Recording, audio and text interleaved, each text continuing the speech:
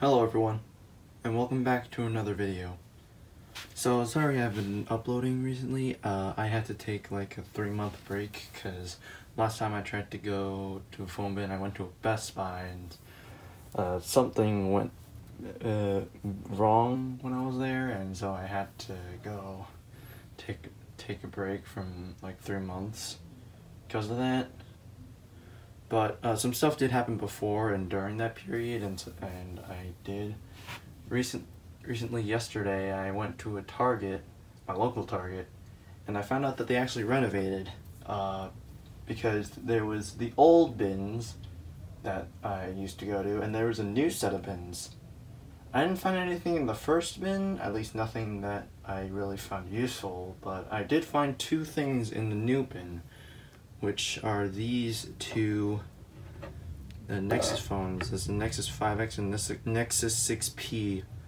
Now when I got these out of the bin, I fully expected them to boot loop. But surprisingly, they boot fine.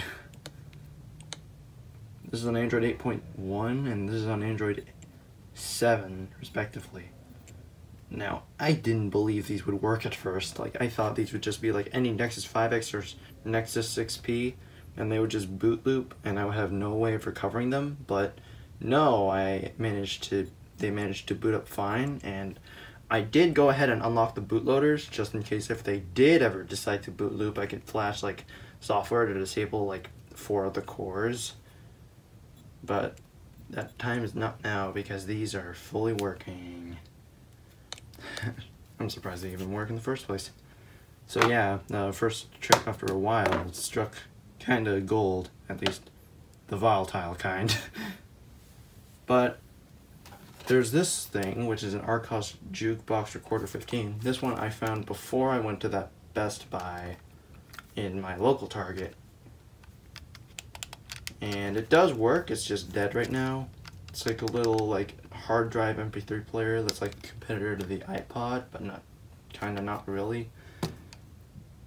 It has 20, it's like a hard drive based 20 gig, if I already didn't say that. Then there are these stuff, this stuff, which I actually got from my cousin during the period of my break before I got these and after I got this.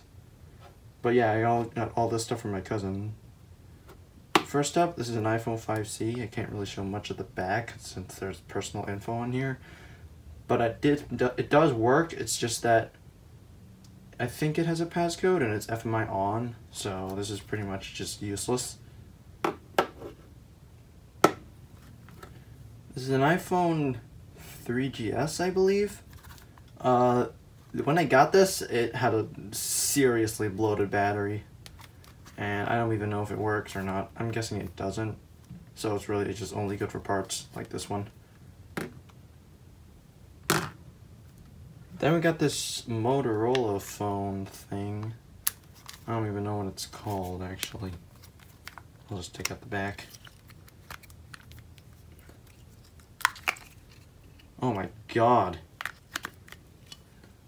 I did not realize it has oil on it. Oh god. I'm not researching this. No. Oh. Christ. Yeah, for some reason, like, these flip phones had a varying degree of oil in them. I have no idea why.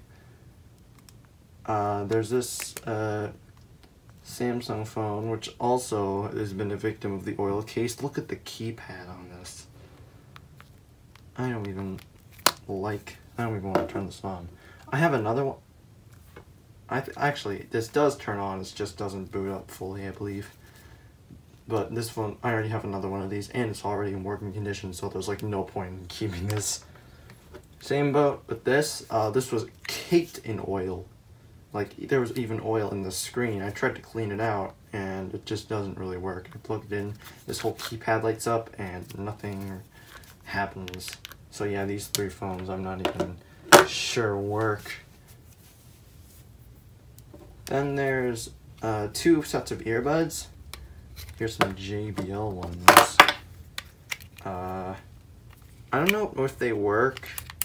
One of them is just cracked and that's why I just don't, I'm not even bothering just testing them. Then you have these like Walmart branded, Walmart branded wireless headphones. They probably work, I just don't really test them because I have better headphones. And possibly the best thing I got out of that, this whole mess, is this Fitbit Versa 2. It works to a degree, it's just that the screen is a bit dim. And so when you go outside, you can't see the screen very well. I plan on replacing it, but I'm not sure when that will be. So for now, it'll just stay like this. But anyways, that's it for the video. Thanks for watching, and I'll see you guys in the next video. Bye.